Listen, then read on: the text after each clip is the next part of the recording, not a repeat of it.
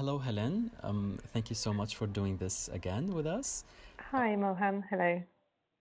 Um, I guess I'm going to give you the floor and um, you can go ahead with your presentation. Great. Thanks very much. Um, I hope the internet connection is okay from here in, in Cameroon. Um, so I'm going to just talk through um, one of one specific chapter um, and how it's been related to some of the, the work in the field that I've been doing. Um, so for me, um, from the professional standards, I focused on chapter six, which is managing data and information for protection outcomes. Um, that's partly because I'm working for the Danish Refugee Council, and that's something that uh, we're very focused on in terms of our protection work.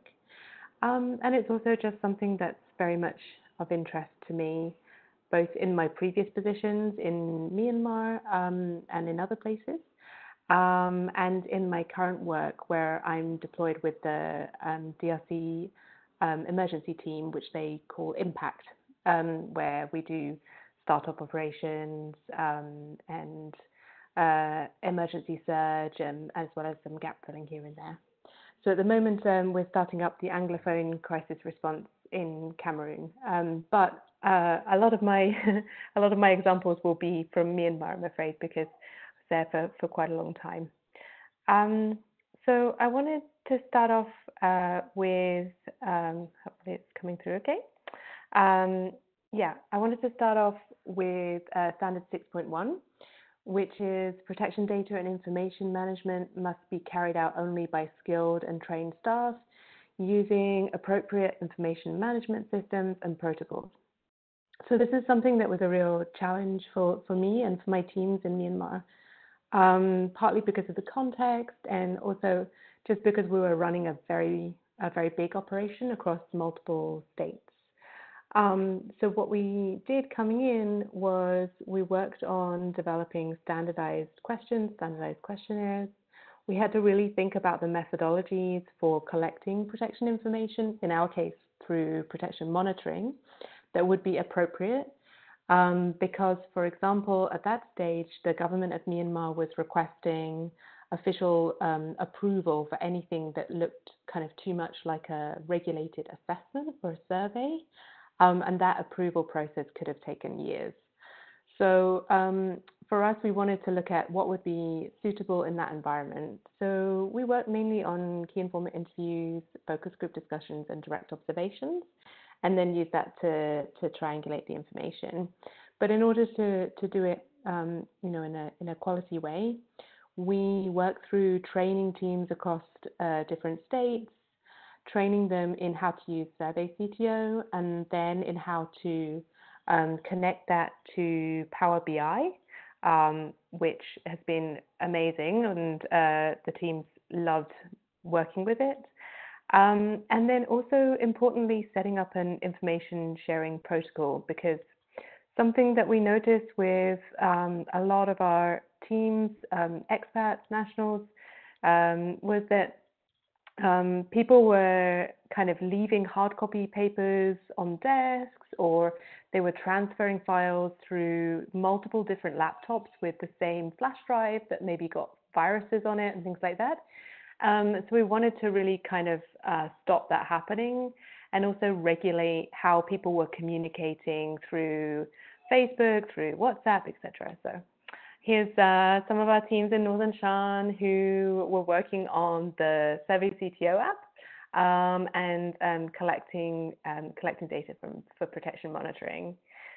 Um, so then from that, we kind of built up this system, and hopefully this gives you quite a good idea um, of what I was mentioning, which is collecting that information from the communities through Survey CTO, downloading that file, saving it and in the protected Google Drive uh, that only a limited number of people had access to, um, putting it through Power BI to create those kind of analytics, and then from there into our platform where we could showcase trends.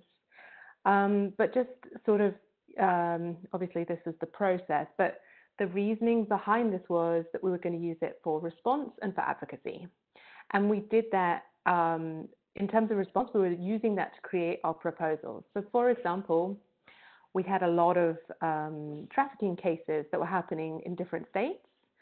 And so we were using that to confer with the livelihoods team and put together joint proposals with protection and livelihoods, where we could provide awareness on counter trafficking and options for, for families in terms of alternative livelihoods. So we were doing kind of both things concretely at the same time.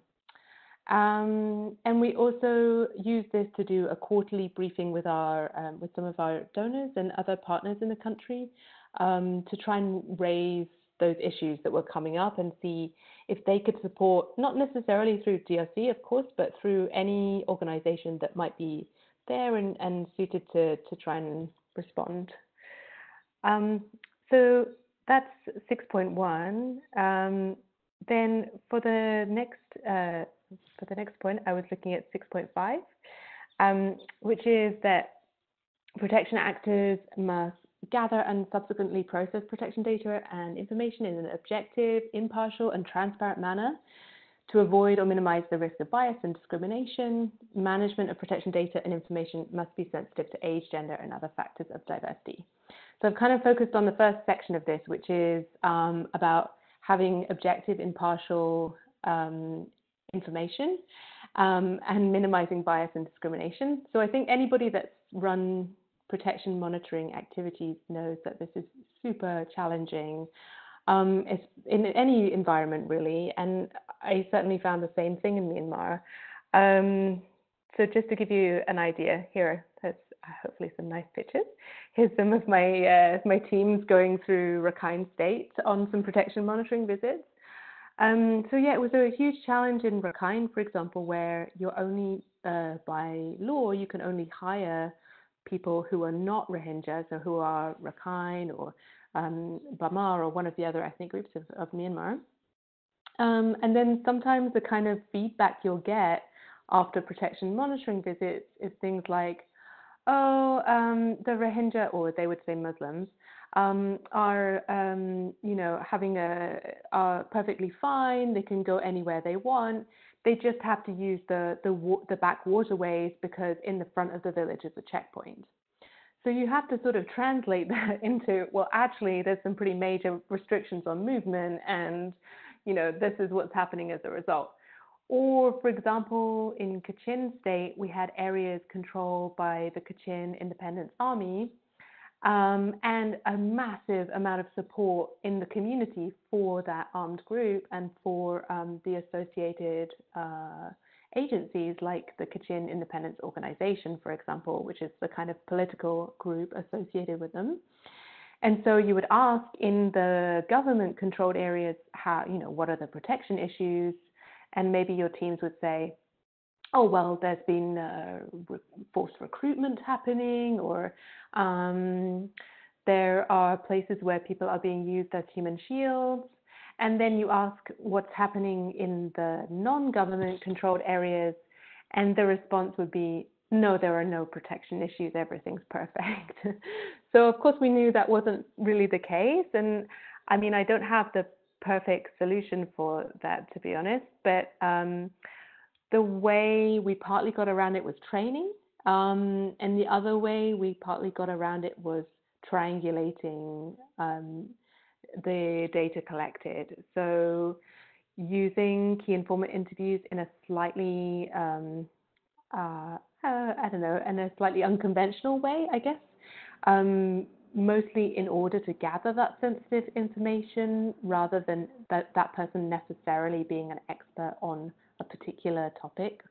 Um, not taking phones through checkpoints, um, directly doing the protection monitoring ourselves, so having a bit more oversight over our teams. Um, yeah, I mean there were no there were no perfect ways, but that was some of the some of the ways that we used the professional standards to try and um, improve the quality of our work. Um, so the next one I highlighted was uh, 6.6, which is protection actors should, to the degree possible, keep the persons who provided information of the action that has been taken on their behalf and of the ensuing results. So, in my experience, this is the hardest part of the process. Um, and it's often neglected, which is a real shame. I have to say, I had to kind of dig around for this example because I don't know that uh, I've been great at doing this, but I know that the um, the joint um, IDP profiling service that came to Myanmar in 2016. This is um, a picture from the the activities they were doing were fantastic. They did this um, amazing assessment of the camps in Sittwe, um, and then they came back and produced a whole video, managed to set up and uh, screen this video of the results from the assessment, how the, the process of the assessment to everybody that had been involved in it from the Rohingya communities and it was extremely well received. The feedback they had was very, very positive. We were working in the same areas, so we heard from people also the same thing. They loved seeing how the data was used, how that information was used, um, and what people were doing to try and improve the situation there. So I thought it was a, yeah, not, I can't take credit for it, but I thought it was a fantastic uh, example. Um, the next one I wanted to highlight was um, 6.17. Uh, which is protection actors must ensure accountability for the processing of personal data and sensitive information. They must establish formal procedures for the data and information management process from collection to exchange and archiving or destruction, including coaching of staff and volunteers, monitoring of quality and supervisory mechanisms. Um, so that was um, quite a long one. Um, but I thought what would be interesting to illustrate this was the setup we did of um, of the Primero system, which is uh, the over the overarching um, system which uh, hosts the uh, Child Protection Information Management System Plus and the GBV Information Management System Plus. Um, so the the new versions of the GBVIMS and CPIMS. Um, and uh, what we did in, in Myanmar was um, we brought together our teams, asked them how they felt about the case management they were doing. Um, they were gathering this information from people, but was it really being systematized in a way that would respond best to their needs? And um, what our teams told us, and what we got from our from the surveys we did with um, with our um, cases, was that the um, the deadlines for follow up were not always well adhered to, and that sometimes there could be um, delayed follow up or that teams were not able to to uh, to capture this very well and to check on this very well. Um, and so we looked for a way of doing that for our kind of case management, and we adapted the the Primero system in order to do that. Um, but before we were able to do that, and working with this fantastic consultant we had, we had to really establish the workflow of who filled out the actual forms, what kind of forms were we talking about, who was checking the forms, who could sign off on them, what was the process of going from one stage to another, and how were we making sure that nobody was falling through the cracks. Um, so we're in the process of, of rolling out that uh, Primero um, system for It's a, system that seems to be going pretty well so far, and it's establishing more accountability for follow up. So when you first log in, you can actually see, okay, what are the cases that I should be dealing with today, and how and has my supervisor highlighted any cases where I should be following up immediately. And so hopefully that's also having the impact of greater accountability to our cases, um, which was, you know, the idea behind um, improving the system in the first place. So um, uh, yeah, and you can see here the picture, which is from our training. Um, who this is a, a, photo from one of our team's Facebook, um, because they were they were bragging about loving the training for for learning Primero. So the the final one I wanted to highlight was 6.7, which is that protection actors should be um, explicit in the, the level of reliability and precision of the data and information they collect, uh, use, or share. Um, so for this, um, what we're trying to do in the in the area where I'm working now, in the southwest uh, region of Cameroon, is set up an interactive um, directory of services. So um, it's that kind of standard idea of service mapping, but hopefully um, in a way that is a little bit more precise about um, updating data and easier for us to share and for other people to use so that people in the communities feel um, that they have more access to that that information and, and are able to make uh, the best choices for for for their um, situation. Um, so it's uh, it's not a perfect system, obviously. Um, you know, in terms of making referrals, we still need to to look at um, how we would, uh, you know, different systems in place to make sure of the safety of referrals. Um, so this is what we're looking at the moment. This is uh, amazing Buea, where I am at the moment in Cameroon. And then hopefully um, you can see that this is the kind of um, system that we're considering using. Uh, let me just share uh, Google Chrome. Um, so hopefully that's coming through now. It's basically like a directory um, engine system. So we would be able to put in the types of um, systems available, or the types of services available, sorry. So a health service, what location it would be at, um, and do under keywords. This is uh, not the service directory, but just um, an example of, of the kind of system we'd like to use. Um, so yeah, I think that's uh, I think that's everything from me. Um, any questions? Thank you so much, Helen. That was that was great. Uh, I I want to ask you two questions here. Um, mm-hmm. The first one is um, uh, in the protocol you put together. Uh, did you distinguish between different apps? Uh, I mean, did you have different level of data protection depending on the app? In the ISP, yes, we did. Um, so um, yeah, we we pretty much banned any kind of information sharing um, of any protection information at all. You know, identifiable, non-identifiable, just everything was totally banned for Facebook um, because Facebook has really low levels of data protection. So it's not encrypted. Um, it can be easily viewed by anybody. And um, I, I, mean, probably you're aware that in Myanmar, Facebook was, um, you know, really, really used to, to, to stoke hatred and to stoke violence. So wanted to kind of co- totally, totally shut down Facebook usage. And then um, we did uh, distinguish between that and say WhatsApp or Signal.